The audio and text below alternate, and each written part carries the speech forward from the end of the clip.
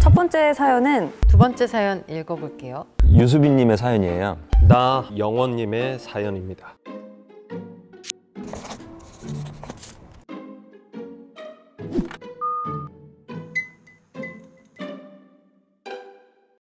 안녕하세요. 저는 막내 연미정입니다. 우선 각자 인사 부탁드립니다.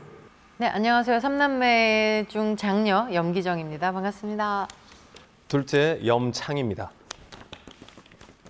아, 저는 삼남매의 친구 구씨입니다. 오늘 저희에게 고민으로부터 제발 해방하고 싶다며 네 분이 사연을 보내주셨다고 합니다. 어떤 사연일지 궁금한데 제가 먼저 읽어보겠습니다. 첫 번째 사연은 오미주님의 사연입니다. 저는 영화를 번역하는 일을 하고 있는데요. 여자라고 무시하고 제 얼굴에 술을 쏟은 전공 교수님의 갑질을 참다 참다 못해 제 성격대로 묵직한 사이다를 제대로 한 방 날리고 말았습니다. 시대가 어느 시대인데 저랑 다른 시대에 살고 계신가 봅니다. 뭐 조선 시대에 사세요? time slip 하셨어요? 아, 사이다가 날릴 때는 참 시원했는데요. 하필 제가 사이다 날릴 때 교수님의 가발도 날아가고 함께 제 번역이 일자리까지 날아간 상황이라 사이다 훅폭풍을 겪고 있습니다. 제가 현명하게 수습하여 이 사태에서 해방할 수 있는 방법이 있을까요? 라고 사연을 보내주셨습니다. 가발이 날아갔다니 무슨. 이게 막 사이다를 막 날리고 막 이렇게 난리를 칠 때 교수님이 사실 가발이셨던 거죠.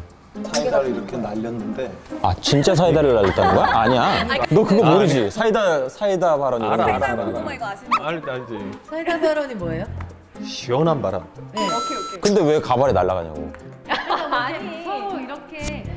얌전, 얌전하게 앉아서 교수님이 저한테 그러시는 건 뭐 조선시대에 사실 이러고 얘기하진 않았겠지만 이러고 이러고 막 했겠지. 그러니까 이제 그런 와중에 근데 이- 근데 여기 보면은 전공 교수님의 갑질을 참다 참다 못해라고 돼 있잖아요. 근데 그분한테 다시 돌아가면 또 아 죄송합니다 사과하고 다시 돌아가면 다시 그거를 견뎌야 되는데 사과하러 가진 못할 것 같고요.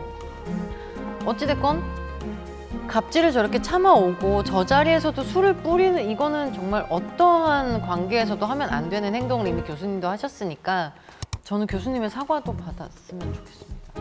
염창이로 보자면 너무 하나고 억울하고 그렇지만 가서 사과를 했을 것 같네요. 했을 것 같아요. 너무 속상합니다 지금. 구씨라면 가서 다시 일하러 간 다음에 이 사람을 어떻게든 이겨먹지 않을까 그렇게 하려고 노력을 하는 것도 근데 난 개인적으로 그것도 진짜 나쁘지 않다고 생각해 그 사람이 내가 불편해지도록 하는 것도 나쁘지 않은 것 같아 그럼 두 번째 사연 읽어볼게요. 길오솔님의 사연입니다. 안녕하세요. 저는 적당히 방도 어지르고 평범한 청결력을 갖고 생활하고 있는 20대 직장인입니다. 아직 20대이지만 어, 요즘 전 고약한 인생의 법칙을 여실히 깨닫고 있는데요. 저에게는 정말 서로 얼굴만 보면 으르렁거릴 만큼 상극 관계인 깔끔병 남자 A씨가 있습니다. 첫 만남도 좋지 않았고 우연히 겹칠 때마다 더욱 안 좋은 관계가 되었는데요. Oh my god, 네가 여기서 왜 나와? 제가 새로 입사한 회사의 대표님이 남자 A씨인 것입니다. 왜 저에게 이런 시련을 주시는 걸까요? 제발 현명한 해방의 길을 알려주세요. 저는 회사에선 철판 싹 깔 것 같아요. 철판 깔고 대표님 대표님 되게 일 잘하고 앞에서 웬만하면 회사에서 마주칠 일 안 만들고 일 열심히 하고 내 할 일 잘하면 대표님이 나를 건, 건드릴 일이 없으니까 대표님이 나를 괴롭히지 못하게 구실을 안 만들 거예요 저는.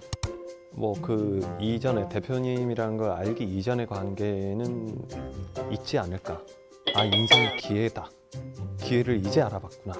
그리고 좀 긍정적인 마음으로 달려갈 것 같은 느낌이. 저런 조금 얄밉고 깔끔병 있고 막 이런 실장님, 본부장님 이런 거 좀 하시지 않으셨어요? 예민하고 막 이런 네, 거 네. 많이 본 것 같은데. 많이 나는 인생의 기회다.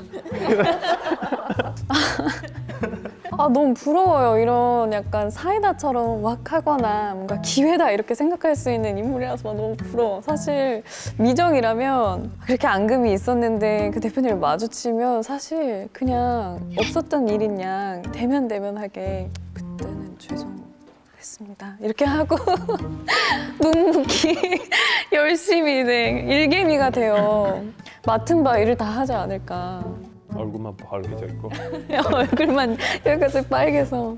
쭉 돌아서 이제 대표님을 얘기해야지. 이번에 대장님 되는 거야. 이 질문의 포인트는 약간 거의 교수님이잖아. 근데 여기는 대표란 말이야. 그건 달라. 이거 열심히 하면 돼. 열심히 하고 그 대표님의 하라는 거 열심히 해서 내 능력으로 딱 인정받고 그리고 내가 지금 봤을 땐 약간 마음이 좀 있어 하는 나도 아직 모르지만 그 사랑의 씨앗이 지금 있단 말이야. 그러니까 매일 출근을 하면서 또 마음에 물을 주면 이제 이게 잘하는 거지. 응. 하루에 한 번씩 산자베리아는 일주일에 한 번씩 그렇게 해서 일도 사랑도 쟁취할 수 있는 기회야 이건. 그럼 본인이 조그만 비밀을 만들면 되는 거죠. 헤어졌다고 하고 몰래 만나면 되지. 연애 막 하라고 한단 말이야. 연애 할 사람도 없는데도 하라 시로 그래. 얘기하는 거 맞냐고요. 손석구 씨 아니야.